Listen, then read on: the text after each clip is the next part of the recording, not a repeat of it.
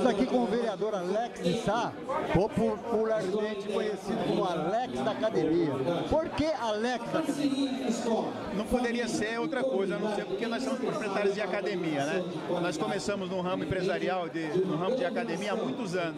Então, por nós sermos donos de academia, praticar atividade física, ser fisiculturista, fomos conhecidos como Alex da Academia. E está difícil tirar isso, nem quero tirar isso. O Alex da Academia tem que se manter. Não estou me chamando de Alex de Sá, mas o, é Alex da Academia, o popular e o que eu gosto. O detalhe do Alex da Academia é que nos anos 80 para 90 ele foi garoto propaganda que eu sei.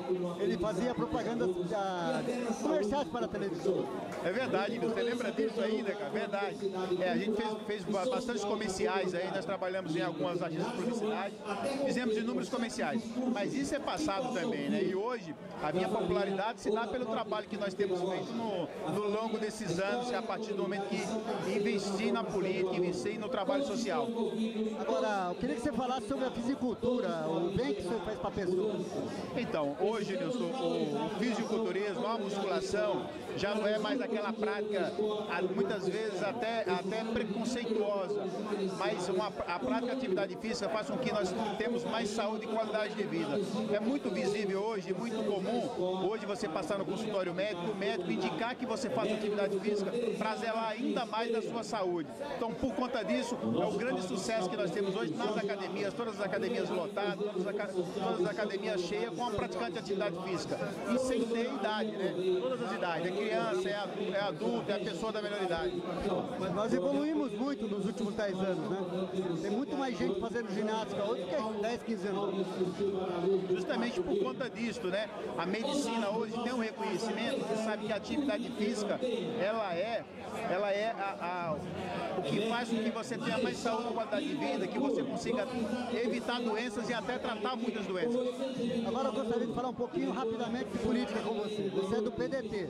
O teu partido está para sofrer um pequeno esvaziamento ou um grande esvaziamento, porque o líder maior do PDT de São Paulo, Paulinho da Força, montou o partido dele chamado Solidariedade. Eu queria que você falasse sobre isso. É verdade, Nilson. Hoje o PDT acabou perdendo alguns membros, ou vai perder alguns, alguns membros por conta desse, desse novo partido Solidariedade criado por então é, é, presidente estadual Paulinho da Força, né? O, o, o, conhecido Paulinho da Força. Mas o PDT em Osasco ele se mantém, o vereador Alex da Academia se mantém no PDT e continua sendo fortalecido e fazendo um belíssimo trabalho para 2014 talvez a gente tenha uma candidatura própria. Então, eu fiquei sabendo hoje aqui que o Rogério talvez vá para o Solidariedade. Mas eu fiz essa pergunta para o colega hoje aqui e ele falou que é só especulação. Ainda não é, ainda não é conclusivo ainda. Vamos ver, né? Se isso realmente acontecer, aí nós já vamos ver que o Partido Solidariedade em nosso município já vai estar ser fortalecido.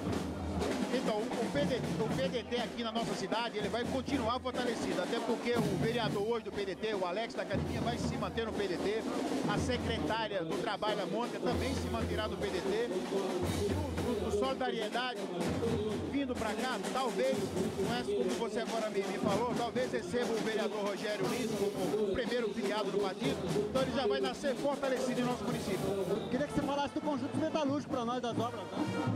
O Conjunto Metalúrgico, que é a nossa casa, que você também já foi morador do Conjunto Metalúrgico, você tem acompanhado lá e tem visto a grande obra que está acontecendo lá, que é o Parque do Conjunto Metalúrgico. As obras foram retomadas está, está em todo vapor. E logo mais aquele parque será entregue para todos os moradores daquela região para usufruir e nós levarmos mais saúde e qualidade de vida para aquele local. O prefeito está de parabéns, o secretário de obra está de parabéns, porque ali está um verdadeiro canteiro de obra agora, Nilson. Nosso paraíso de Osasco, Conjuntos Metalúrgicos, fui vizinho dele muito tempo. Quintal da Notícia é com vocês.